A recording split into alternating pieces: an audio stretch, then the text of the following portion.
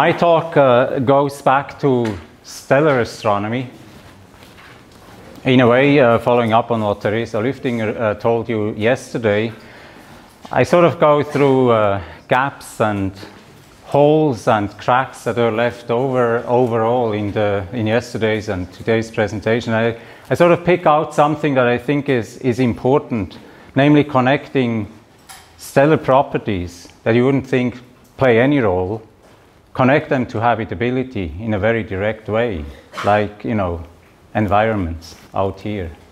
How does that actually, how does that connect? Why, why is there anything that matters for habitability and you go back to the star and observe magnetic fields, for example. I want to discuss a bit uh, habitability, habitable zone. I'm not going into any detail. My talk is actually quite short. So habitability, what is that? What, what, what are we discussing here? It's, it's all about having environments on a planet um, that make beasts like this possible and that also provide food for these beasts. So, habitability. This is a portrait of the solar system taken quite a while ago by the Voyager probes. It's, a re it's real images. Which of these planets is habitable? Um, so I shouldn't show, I, I was anticipating you wouldn't guess it. But anyway, that's what we, you know, questions are guaranteed and sometimes you don't know what, what the answers really are. Uh, you knew it, so you're not on this slide. Habitable zones. Uh, we have to, as you know, most of you probably have heard about this, we need to check where a planet actually resides around the star. We have heard some of this yesterday anyway. Um, there are planets that are bad for becoming habitable. There are some further out that really don't make it because they are too cool. But there's more to it. It's not just the distance from the star. There's more to it. We, we actually need a surface especially if we discuss about water. Now these habitable zones, especially this habitable zone that I'm going to discuss, is related to the existence of liquid water on a planet. Because that's what we think presently is the easiest way to form life. We need water, especially all life forms we have in the solar system, uh, in, in the, on Earth, of course. All life forms require water. They were formed with water or in water and they still require water. Every single uh, uh, living creature on Earth needs that. So we, we look for liquid water, not water vapor, not water ice. That's uh, not very helpful. Uh, we need a solid surface to get there. And we need an atmosphere. That's often forgotten. You cannot put liquid water on the moon. Doesn't doesn't work. We need pressure. So we need both. Now, how do we actually calculate what the temperature will be on a planet that has a liquid, uh, has a, a solid surface, it has liquid water, and it has an atmosphere. There's some easy approach to this, but it's, it's becoming complicated if you go to details. Well, first of all, let's just take a planet like, you know, just a sphere. Forget about atmospheres at the moment. Um, in equilibrium, the sun shines on the planet and the planet irradiates again in the infrared, depending on how warm it is at the surface. So what's coming in gets out in equilibrium. Now, the incoming light from the sun, that's the green arrows here, hits a cross section of the planet. And that's the energy that really is absorbed by the planet. That's the, the cross section of the planet, that's the solar constant, if you will, the uh, energy flux. And then one minus A. A is the albedo. That's the amount uh, of reflected light by clouds, for example, that goes back to space. So 1 minus A is actually the energy that is uh, absorbed by the planet. Now, after the irradiation of the planet by solar light, you lose energy again by radiation back to space in the infrared. Again, taking a solid surface like a sphere. Now this is a sphere. The whole uh, surface of the sphere radiates. And there you know, if you have a temperature, we do a black body approximation. If you have a temperature on the surface, heated by the incoming light, the radiation away from that sphere is the surface of the sphere 4 pi r squared, and then sigma t to the fourth power. It has to be the same in equilibrium in, coming in, getting out. And if you solve this equation, you can actually solve for Tf, the fourth power of the effective temperature. This is the incoming, the solar constant, if you will, and albedo. So you can calculate things very easily. And if you do that, you get 255K for the Earth at 1 AU. That's not much. That's not what we have. We are used to think like something like 15 degrees centigrade, but not much 255k. Uh, ah, that would not be the, the present Earth, but we know that we have an atmosphere, so we need to take the atmosphere into account as well. Now it gets a bit more complicated. We have heard and we know there are greenhouse gases that help, CO2. There's actually also water vapor, which also helps, methane helps. There's not, it's not much on present day Earth. What happens is essentially there is energy coming in, there's solar, uh, solar, solar flux, gets absorbed at the surface, gets irradiated back in the form of infrared radiation, but then there is absorption in the atmosphere. Some molecules take that infrared, absorb it, and re-emit it again. And part of it goes back to the surface. So you see there's actually net, there's more energy again coming back to the surface and tries to heat it further. This is the greenhouse effect. Now you have to go all, uh, through all the molecular calculations. It depends on the composition of the atmosphere. But anyway, if you do it for the Earth, we actually win 33 degrees uh, of temperature, and that brings us to 288 K. 15 degrees centigrade, that's it. So we're done. We've explained it more or less. Does that make a habitable planet? Well, it doesn't. And that's the, the rest of my talk is actually to show you how much else can go wrong. This is just the beginning, this is the basics. Let me stay with the basics. I want to just go through a few things that have been developed, especially by Jim Kasting and colleagues. This is from a paper in 1993. Where are these limitations in the solar system? Where can you keep liquid water based on such calculations and more, uh, de more delicate calculations, of course, really taking atmospheric composition into account and so on? There are different ways of estimating in which range of radii in the solar system you can have a planet with an atmosphere about like the Earth's atmosphere and liquid water on the surface. One is if you bring water vapor, if, if you warm up the Earth, you bring water vapor in the higher, into the higher atmosphere, especially if it makes it into the stratosphere, you begin to dissociate water into H and O, oxygen, and hydrogen. Now, hydrogen is a very uh, light atom, and if it's warm enough, it actually escapes into space. And that happens even today, but not, not in big masses, but it can escape. And that's basically water dis destruction, what we're discussing here. So this is no good. This destroys the habitable environment on a planet. The calculations say that you have to be outside 0.95 astronomical units to prevent that from happening. Another calculation essentially says, well, actually, if you, if you evaporate the, the oceans slowly, the water itself, the water vapor uh, itself, contributes to the greenhouse and heats it up more and more. And you get into a runaway greenhouse so that it heats up enormously. And that's, of course, also not what we want. That calculation says you have to be outside 0.84 astronomical units. There's some tests you can make. We know that Venus, about a billion years ago, also was, was dry. It was already in a, in a situation about like today. Geology tells us a little bit about this. So there is evidence that about a gig year ago. You have to make some corrections about the sun's luminosity, but that's, uh, that's easy. You have to be out, uh, outside 0.75 astronomical units to get it right. So this is the limit. We have to be outside Venus orbit. Venus failed.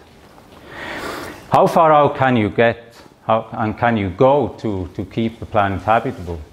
Um, you add carbon dioxide as much as you want. You, you, you improve the, uh, the, the, the, uh, the, greenhouse that way. Now, that's an illusion. You can actually do this. This diagram shows it. This is again from Kasting.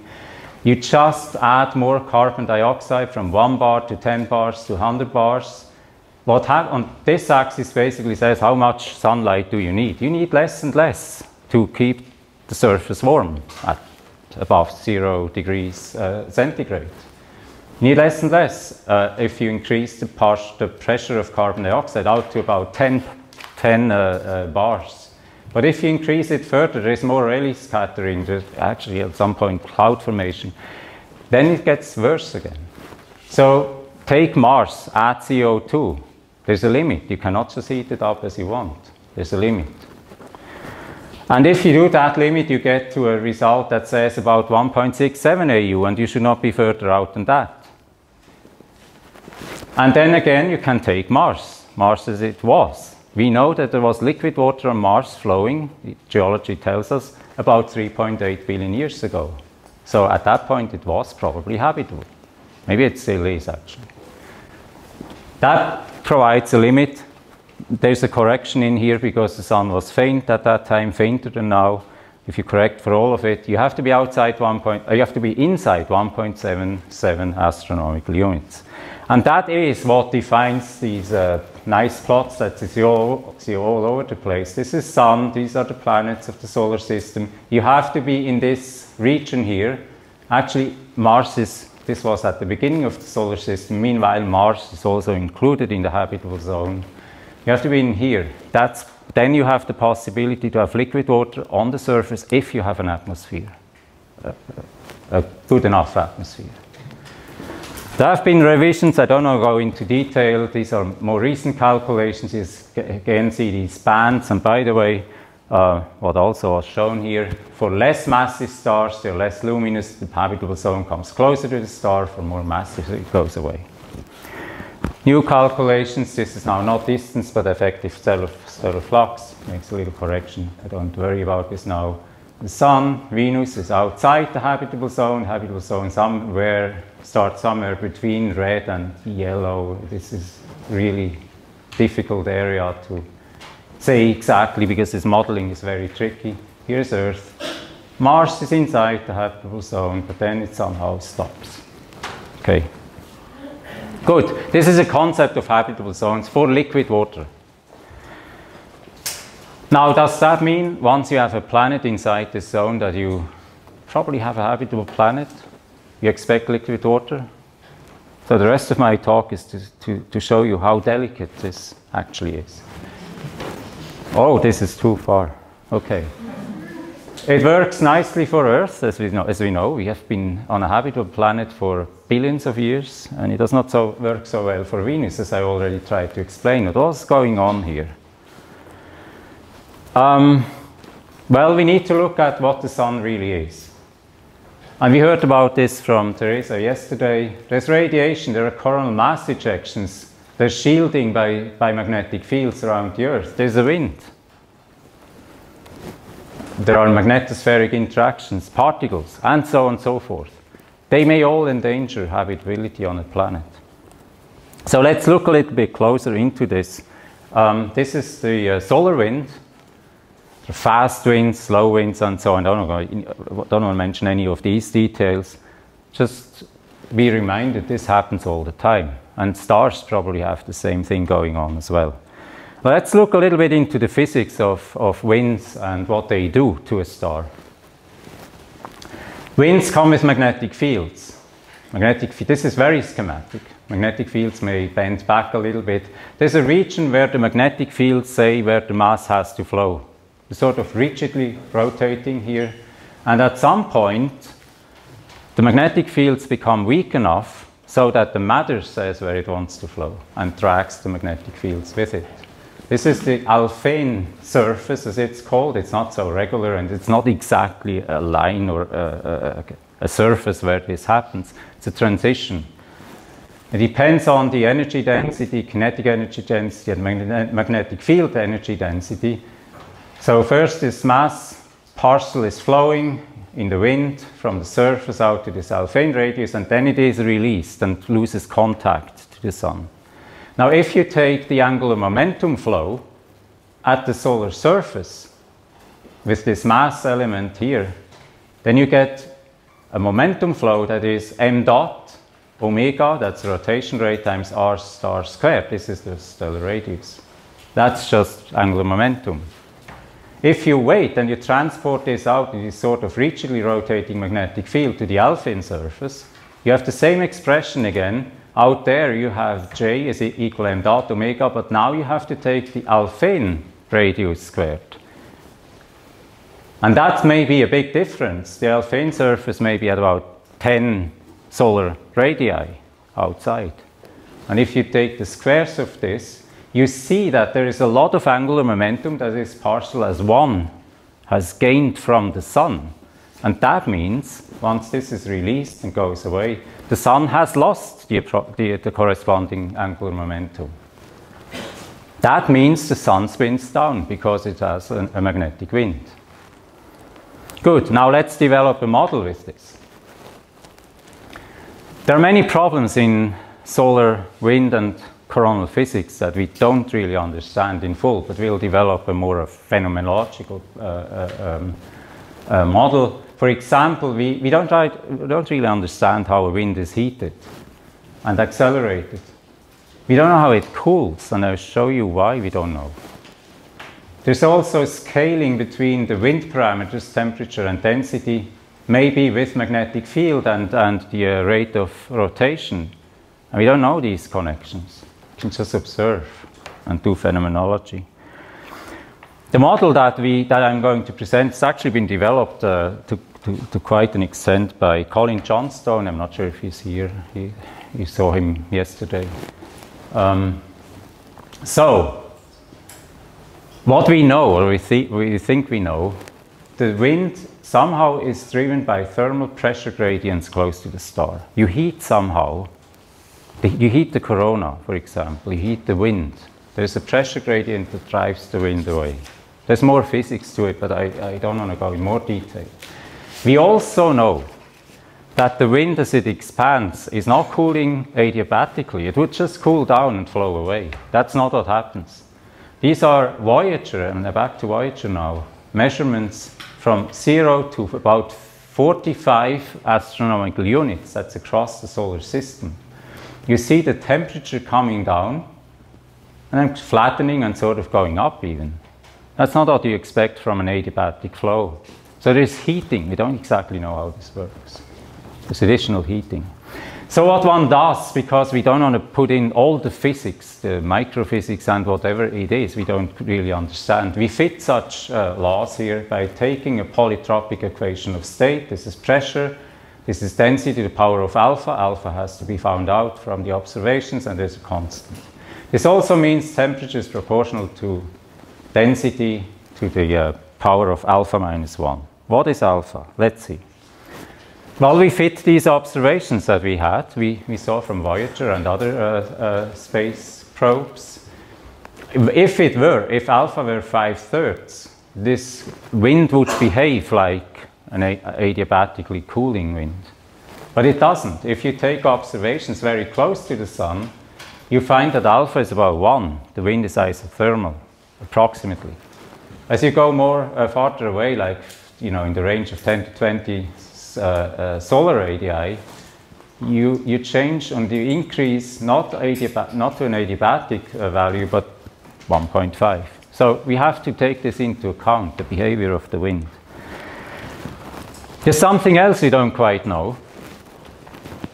There's somehow the wind starts. Again, we don't exactly know where it starts. This is very, very delicate physics and observing, uh, limited by observing, but many people are very interested in this. What is the basic, the base temperature where the wind is really launched?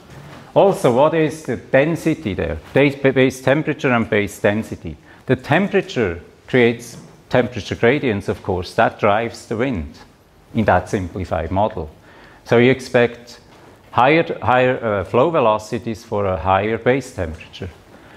Density, of course, is the material. If that density is higher at the base, you get more mass loss.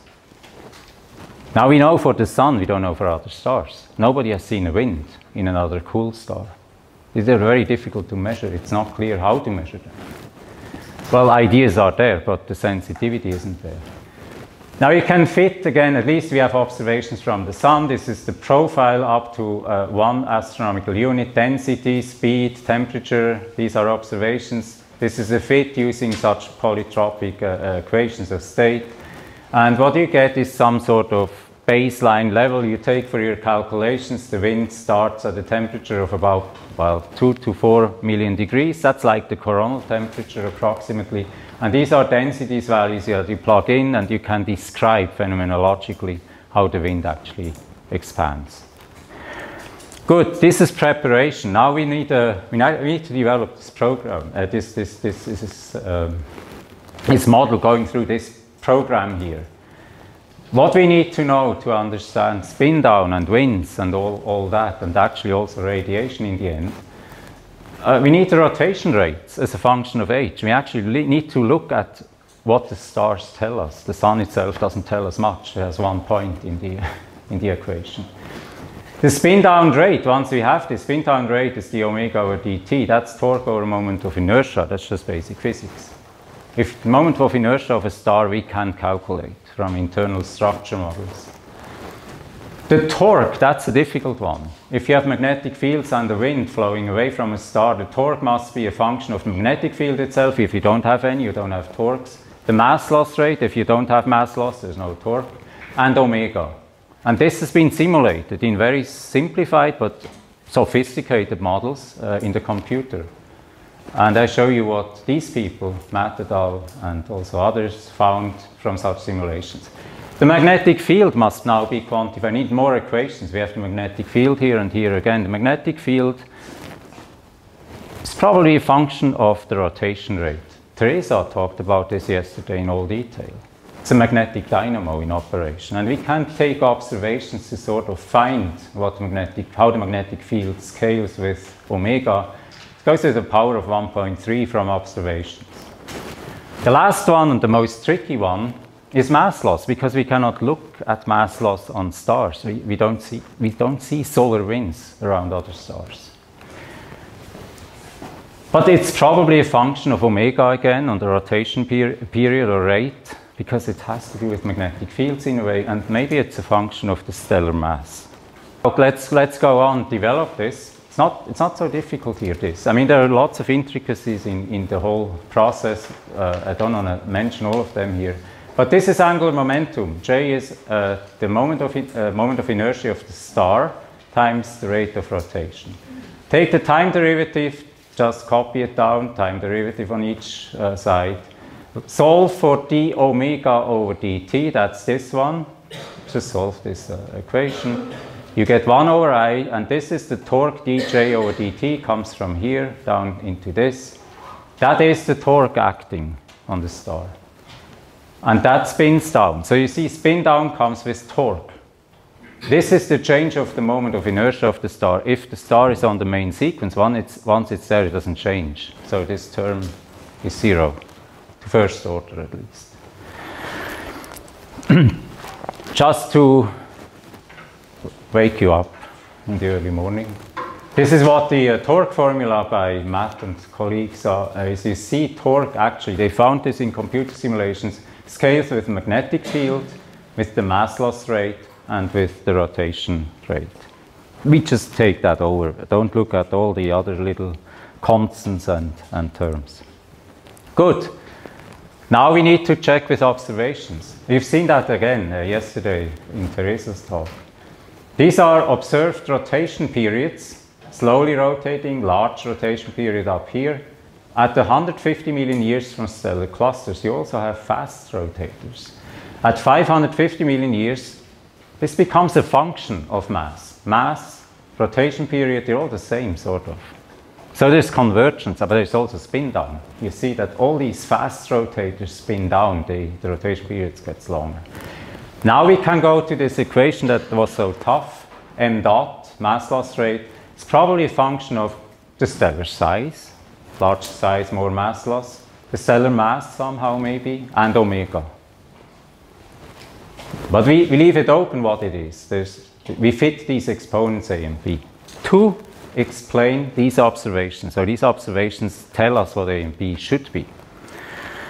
And the solution is, need to get this started. What you saw also yesterday, I'm just repeating this very quickly. This is a, rotation period in time. You see they all go slower and slower and slower. First the more massive stars, then the M dwarfs as well. And that's where we are now at 4 billion years. You see the sun at 27, 25 to 27 days approximately. Good. Now you can derive from this model, you can derive all the properties that were computed in, in, in, the, in the program in the background. This is the stellar wind in time for the same stars. You see stellar winds come down in time, it's 100 million years, 500,000, 2,000. Winds come down, they get less and less, less and less, and here, that's where we are now. The sun, at, a bit lower than this, about down here. This is a saturation line essentially, You cannot get higher than that. Uh, that's an observational fact as well. Uh, the X-rays and the magnetic field saturate. There's no more you can do if you spin up the star even further. Now let's ex extract that one solar mass. Let's extract the timeline. That's what we get. This is a solar wind mass loss in time, 100 million years to the present day of the sun. The sun is down here. But the spread here, you cannot do without this. That, that's the distribution we had in, in, in, in, all these little dots in these many observations of stars. We, they have different rotation periods at the same age. So the wind could also be very different at a given age. We don't know what it was for the sun. This is just solar-like stars. They fill this area. We don't know what the wind mass loss was. So now I, I want to add a few things that where I will link to habitability. What does this have to do with habitability? We are discussing winds and rotation periods of stars.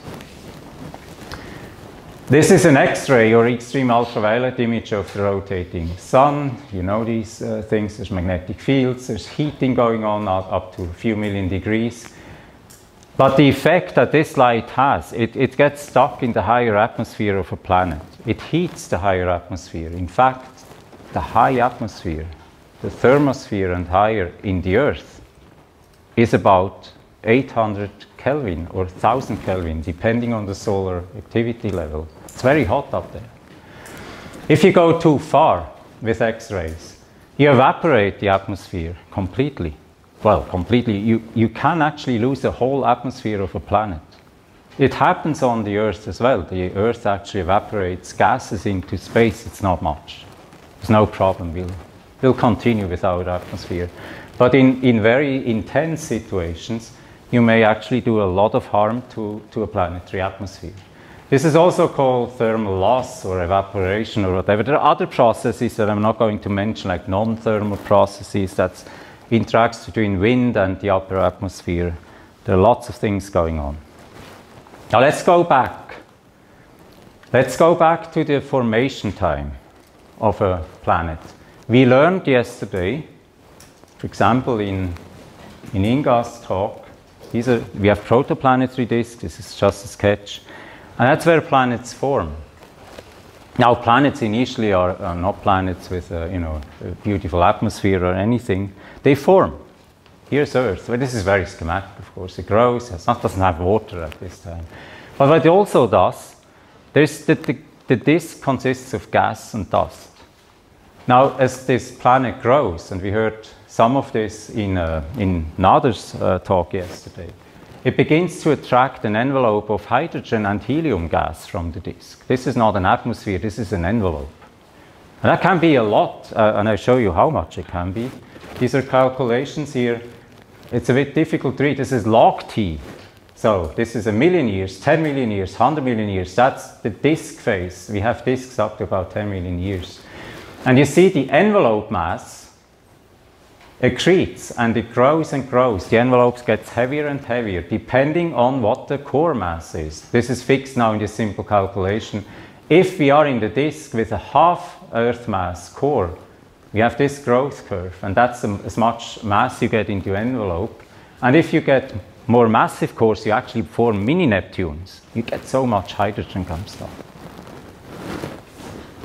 Now the problem is this is not a habitable planet. Um, well, anyway, the problem comes here. These are calculations, just show this very briefly. Eventually, the star, this is a disk, a crosscut from the side. These are hydro simulations. In fact, the, uh, the star does the same to the disk as it does to the atmosphere of a planet. It evaporates it because it heats the surface. We heard about this yesterday. There's a heat flow, uh, a mass flow going away from the disk.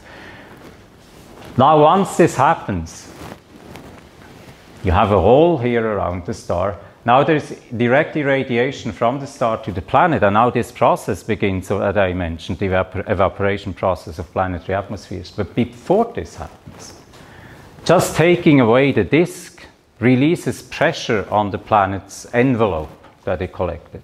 And so the envelope expands and gets partially lost. And these are the curves of loss just by pressure release. Again, this is a small core, 0.1 Earth mass, 0.2, 0.5. These low mass cores immediately lose their envelope.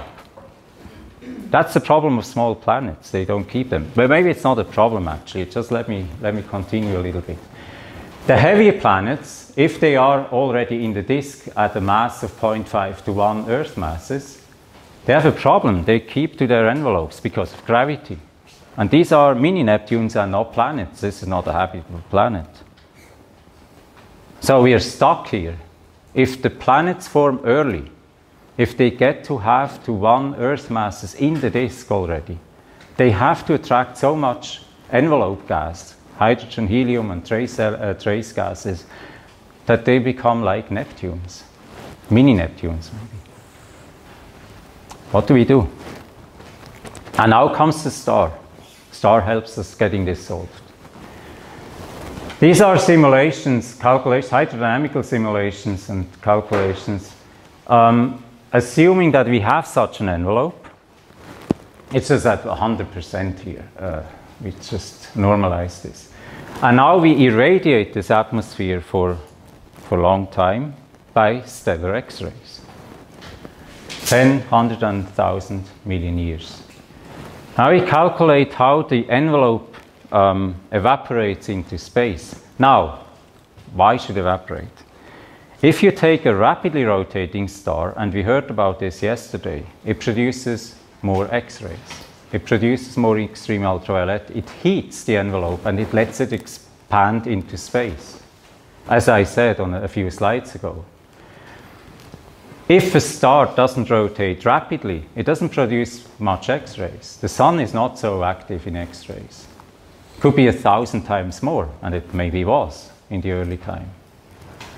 So it all depends on rotation. Now you begin to see the connection. We need to know what the rotation period of the star is to say how active it is, how, many, how much X-ray emission it has, to see whether these envelopes are going away into space.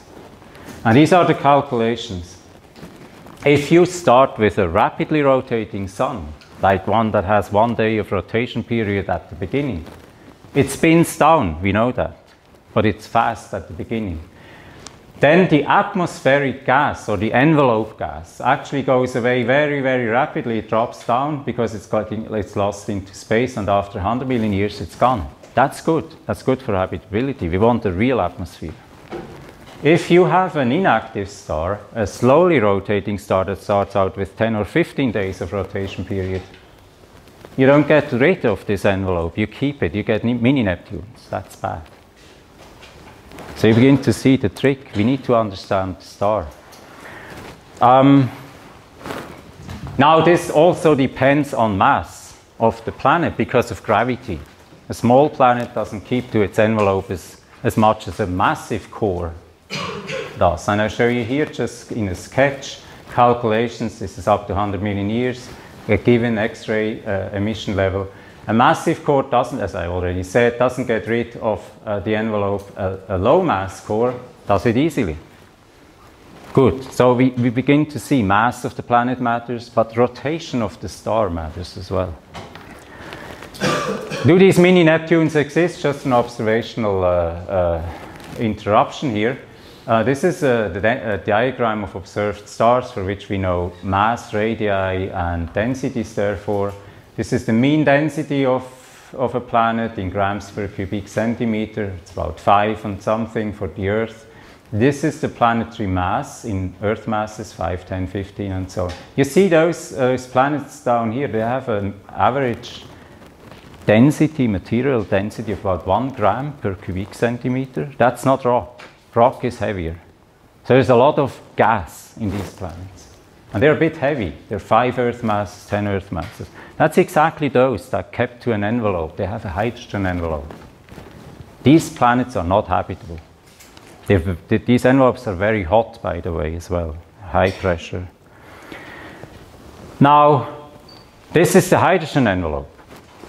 We want to get rid of this, so we shouldn't have too heavy cores in the disk. Can build them later, maybe. And we need to be careful with the, the X-ray radiation from the star, and therefore its rotation period. Now, eventually, we will have a real atmosphere around the planet from outgassing, volcanism, or whatever, or gases that are brought by meteorites, as we heard also yesterday.